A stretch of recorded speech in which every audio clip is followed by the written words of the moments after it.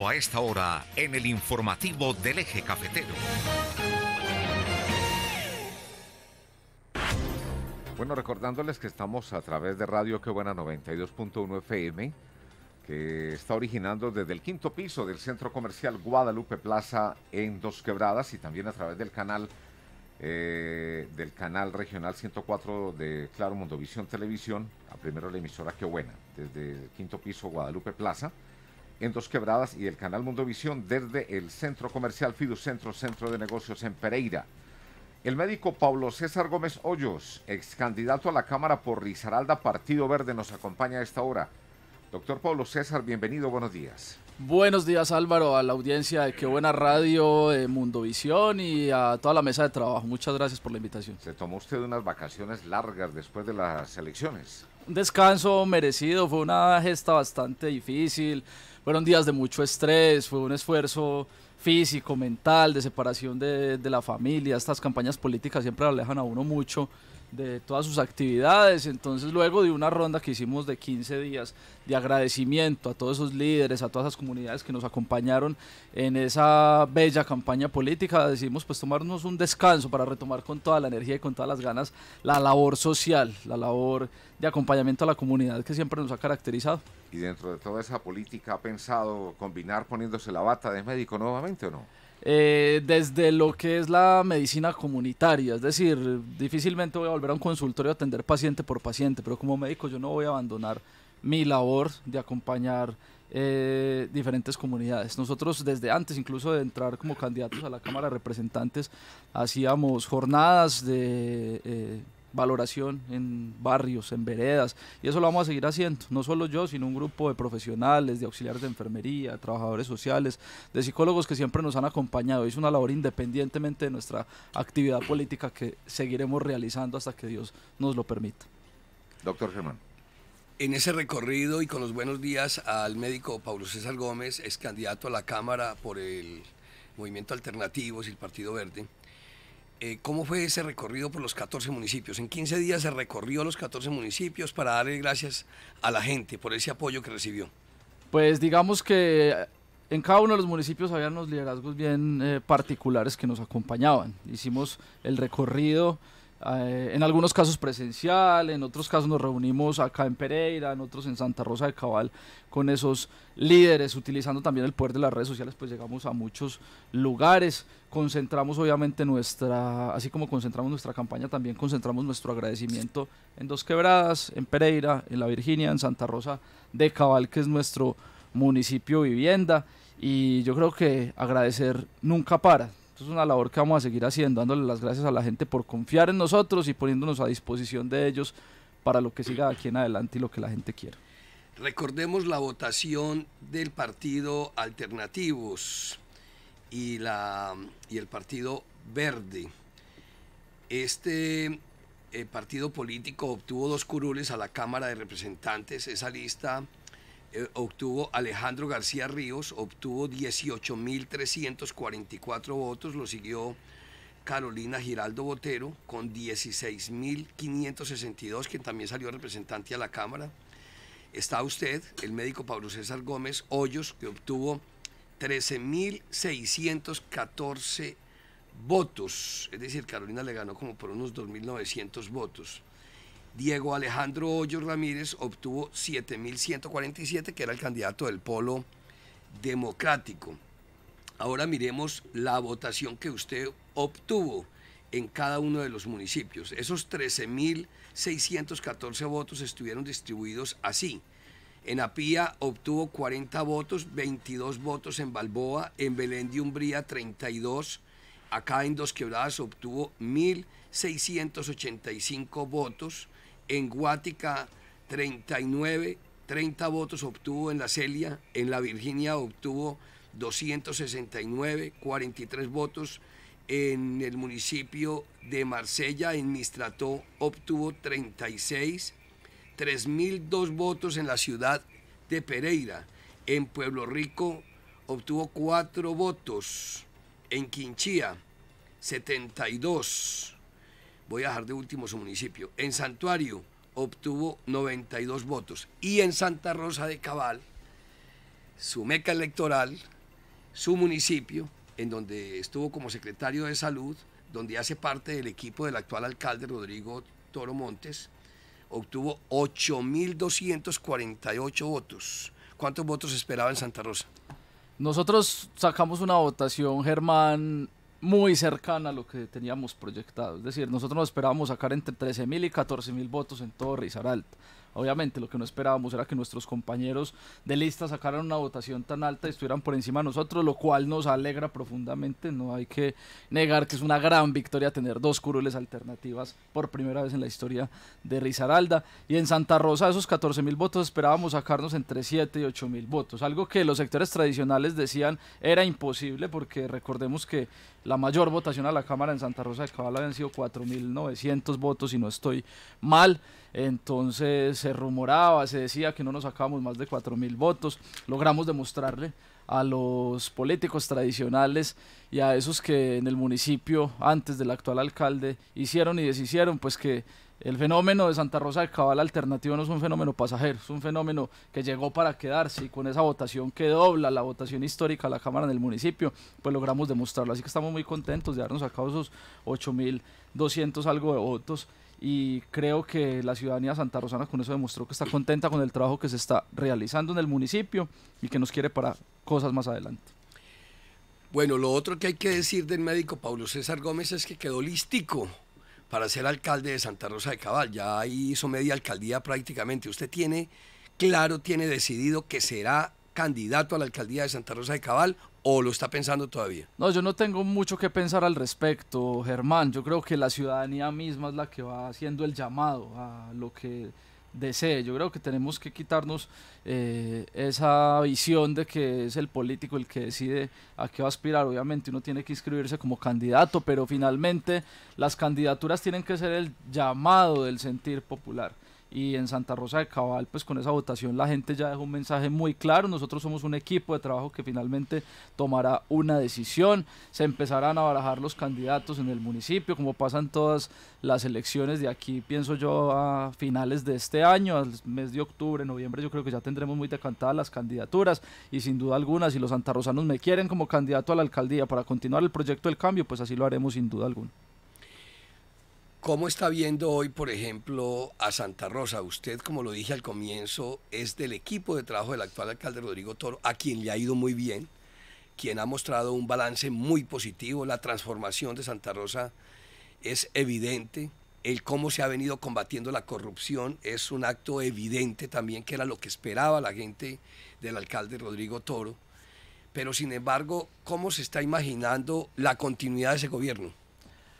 Germán, eh, Rodrigo Toro toma un municipio bajo la promesa de empezar a cambiar todas esas prácticas que usted menciona y de mejorar las condiciones eh, de vida de los santarrosanos y para eso recibe un municipio endeudado, sancionado en planeación, sancionado en regalías, un municipio con unas condiciones económicas muy difíciles, un municipio en quinta categoría y empieza a trabajar en torno al cambio de esas situaciones y a traer recursos para el municipio, a gestionar proyectos y a gestionar eh, todo lo que hasta ahora se ha logrado y que ahora dos años largos de su mandato pues ha logrado mostrar que sí era posible.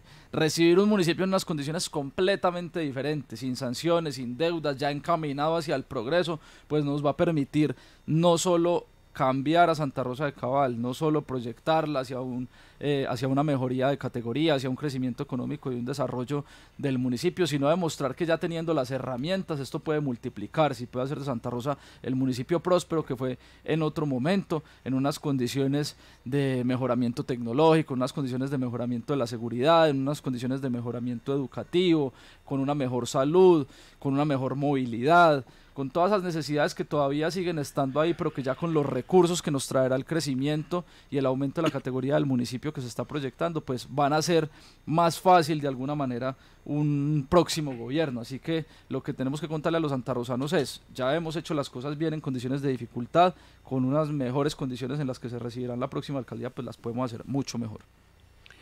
Hoy digamos cuál es la peor crisis que tiene Santa Rosa de Cabal en la salud, en la seguridad ciudadana, en la seguridad ciudadana, en el mismo desafío que tiene frente al turismo, el mismo desafío que tiene cada ciudad frente al tema ambiental, por ejemplo. Hoy, ¿cuál cree que es ese desafío que hay que afrontar? El de la salud lo chuleamos y lo dejamos a un lado porque esa es una problemática de todo el país. Es decir, un municipio difícilmente va a poder mejorar su salud si el sistema de salud que tenemos sigue siendo nefasto. Y en eso hago un paréntesis para decir que es quizá una de las cosas que lamento de no haber quedado como representante de la Cámara, no poder llegar a dar esa batalla. Santa Rosa de Cabal particularmente tiene retos muy importantes, creo yo, en dos materias, por lo pronto, aunque son muchas las cosas que tienen que preocuparnos. La primera es la movilidad, un municipio que como casi todos los municipios turísticos en temporada alta se bloquea completamente. Eh, municipios como Guatapé lo viven, municipios como Salento lo viven y para eso hay que hacer pues un plan maestro de movilidad y mejorar algunas vías alternativas y generar nuevas vías que eh, mejoren la movilidad del municipio, cambiar la dirección de algunas calles, etcétera, un plan maestro de movilidad en el que tienen que intervenir expertos y que un alcalde tiene que dirigir obviamente.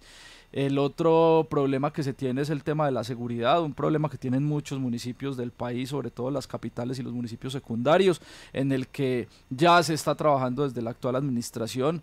Eh, se viene un proceso de compra de cámaras de seguridad articuladas con la Policía Nacional de altísima tecnología que va a permitir mejorar el tema. Se está proyectando la construcción de una nueva eh, estación de policía para permitir el aumento del pie de fuerza en el municipio y yo creo que en eso se está trabajando y hay que seguir pues mejorando esas condiciones. Eso va de la mano de la educación, siempre tiene que ir de la mano de la educación, de que no engrosemos las filas de la delincuencia con jóvenes que no tengan nada que hacer y en ello se está trabajando también con las escuelas públicas de deporte, con las escuelas públicas de artes y oficios y eso tiene que ir siempre pues encaminado de programas sociales. Entonces yo creo que esas grandes problemáticas se están trabajando y hay que continuar haciendo cosas para que Santa Rosa de Cabal eh, en los próximos años pues tenga lo mejor de estos procesos de cambio. Cuando se aspira a una alcaldía se aspira a ser el candidato de la mayor parte de la población pero en el caso suyo supongo va a estar eh, como candidato de alternativos del movimiento alternativos que fue el movimiento que triunfó ahorita en la Cámara de Representantes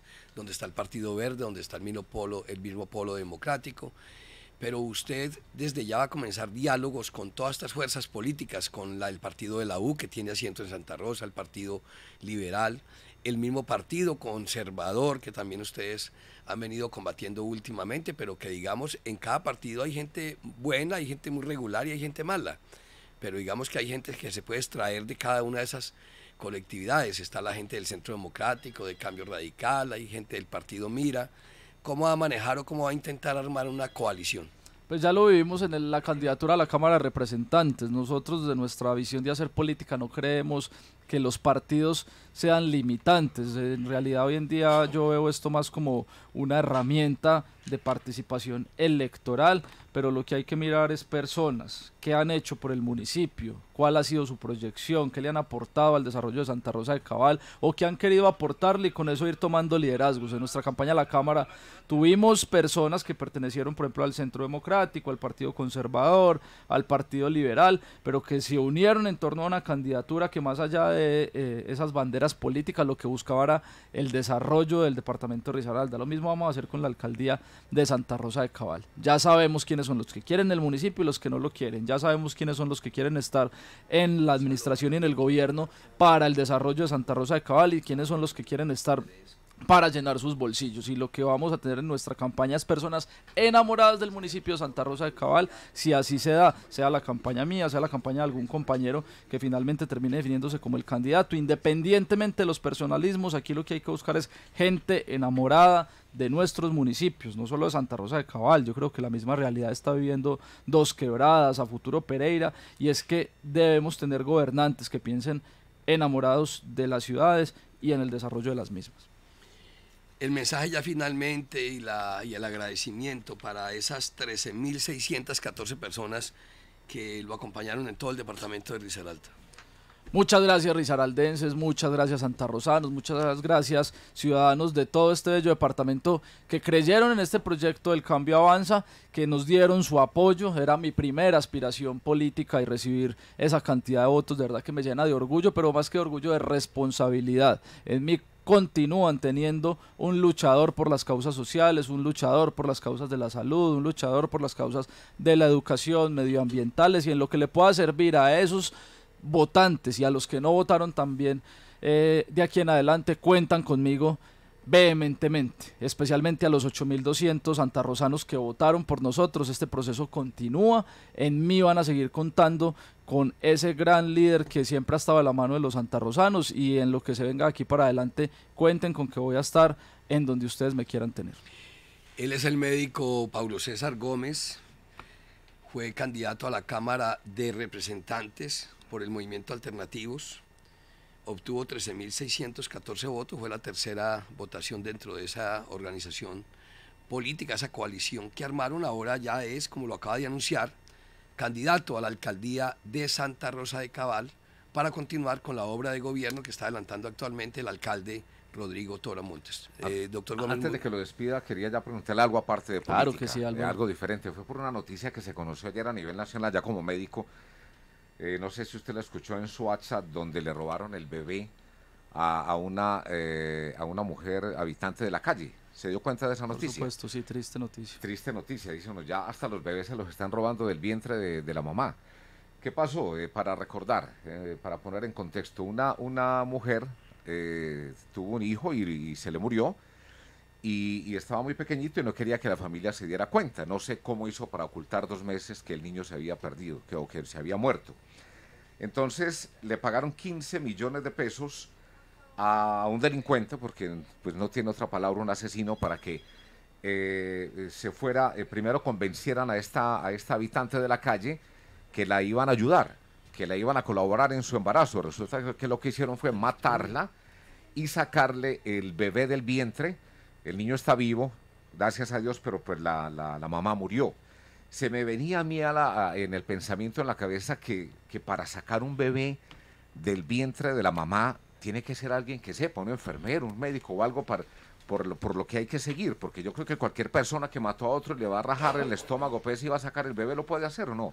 Tengo pues, esa duda. Pues digamos que conocimientos de pronto en anatomía puede tener cualquier persona, ¿cierto? Pero uno sí piensa que probablemente tuvo que ser alguien que tuviera algún conocimiento del área de la salud. Ahora, esto es una situación que debe rechazarse vehementemente terrible que esto esté ocurriendo eh, en nuestro país. Uno a veces no entiende eh, la salud mental de las personas hasta dónde puede llegar a deteriorarse para cometer un acto tan atroz como estos, pero sin lugar a dudas, pues, eh, bueno, tristemente la, la señora eh, fallece. Afortunadamente lograron salvar la vida del bebé, pero pues, no sé, no le cabía a uno en la cabeza, se queda uno sin palabras ante un acto tan atroz que sea quien sea que lo haya cometido, sea un profesional de la salud, o sea alguien sin conocimiento, pues de delincuente no se puede bajar y es algo que tiene que pagarse una condena ejemplar por un acto tan, tan vil como este. O sea, queda la duda de todas maneras de quién pudo haber hecho eso. Lo cierto es que el bebé está vivo y se queda uno pensativo, la verdad ya no se roban solo un celular, se roban lo que sea, sino hasta los bebés de los vientres de las madres también. Situación. Son las 7 de la mañana, 54 minutos. Tenemos en línea al señor Gonzalo Galeano.